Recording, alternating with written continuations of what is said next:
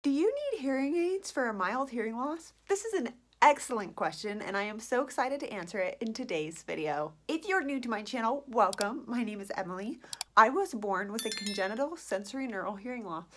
I wear hearing aids in both ears and boy, do I love them. I love them so much. I created Definite Hearing as a way to increase awareness for the deaf and hard of hearing. And for today's video, it's perfect that we're going to talk about the question of, do I need hearing aids for a mild hearing loss? Let's start off by talking about what a mild hearing loss is. Everyone could chart their hearing on a little graph called an audiogram. A mild hearing loss is defined by professionals as a hearing loss between 26 and 40 decibels on the audiogram. If you're wondering if you have a mild hearing loss, the best way to figure this out is to go to an audiologist. They can perform a hearing test. On this test, called an audiogram, little lines will chart your hearing. A blue line with X's for the left ear and a red line with circles for the right ear. But if these lines are between the 26 and 40 decibel range, you have a mild hearing loss. Have no fear. To give you some context, I have a moderate to severe hearing loss. My hearing loss is between 65 to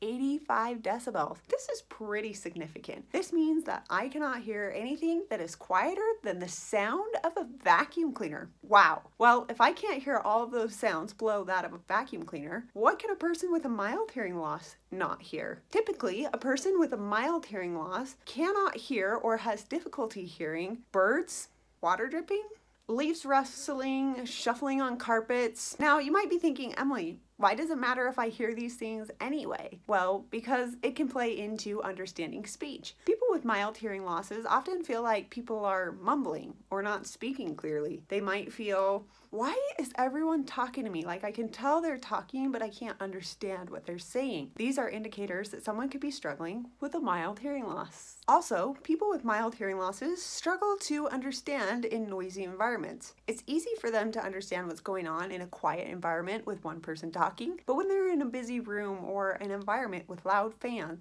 it's hard to distinguish what's going on because sounds are relatively softer. People with mild hearing losses have difficulty understanding soft consonants, such as s, t, th, consonants that just are softer and don't have the kick, like the k, t sounds. Because people with mild hearing losses are missing out on these soft consonants, it sounds like people have holes in their words, hence the fact they can hear, but they can't understand what they're hearing. So though mild hearing losses are mild, they still cause hearing issues. So you may be wondering, if I think I have a mild loss, what should I do? Go talk to a licensed audiologist not just a hearing dispenser, not just an ear, nose, and throat doctor, but a licensed audiologist. An audiologist is a doctor of sound in the ear, and they can understand how to map your hearing and they can recommend the best treatment for you. It is important to talk to an audiologist because they will recommend treatment options such as hearing devices. I wear hearing aids for my moderate to severe loss, and anyone with a mild loss could wear hearing aids as well. It is important to treat hearing loss, even a mild hearing loss,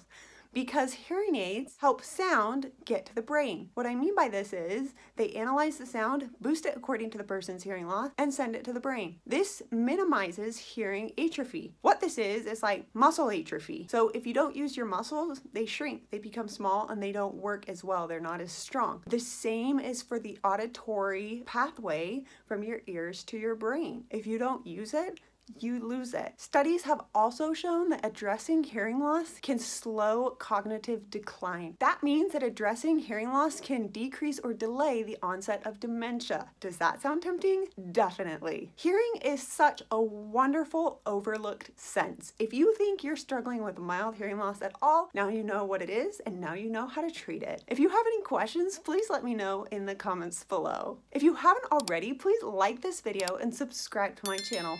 I look forward to making more great content for you. I hope you have a great day. Bye.